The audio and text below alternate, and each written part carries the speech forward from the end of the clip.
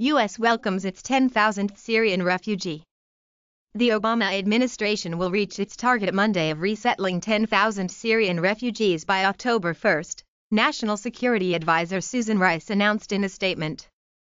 For more details click on the link below.